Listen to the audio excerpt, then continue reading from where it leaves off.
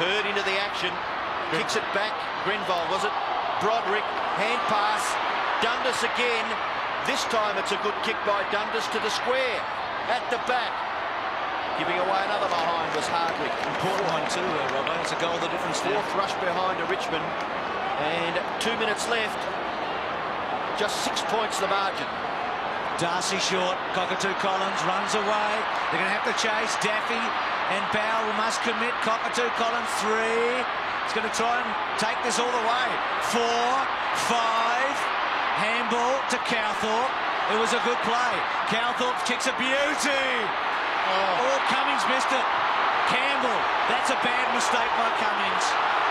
Centre wing. Richmond have got the numbers. Doolan outnumbered completely. Did well, Doolan. But a free kick to... Who's it going to? To Doolan. Had to be Doolan. He was pushed in the back. Well, that's silly play by the Tigers. They had all the numbers. Oh, just a Shepherd went wrong, I think. Doolan from centre wing. Hird the target. Why not? Kellaway's with him now when it counts most. Danaher. Bond. Danaher. Somerville. Long one to fall forward. Cummings with a chance to redeem oh. himself. It's going to be a drawn game. O'Connor's got it. It's all square. Scores a level. There's a minute remaining. Yeah, I think a great result. A draw. It's been a great result all round. It's terrific uh, being impartial because you can sit here and look at that face of Tony Jewell. We've seen him in an exasperated, with exasperated looks about uh, 10 years ago in the same spot.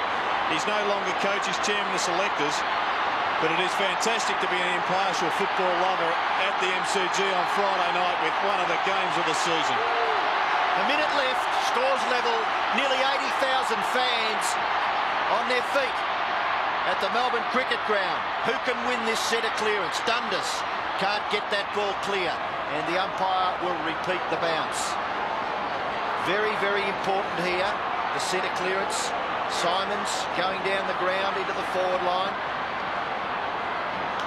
Being picked up by Broderick, so a bit of a pace discrepancy there. Ruckman, neither one can get an effective tap out. Nearly kicked forward there by Bond, a free kick. It will go to O'Donnell. Seconds ticking away. Can either side get a score? O'Donnell short kick in the Simons direction. Gets the handball for Denham. Bond tackled too high. Take a free kick, Chris Bond. It will be a drawn game. 16 seconds left. Bond is between centre half back and the centre of the ground. His kick will land at centre half forward.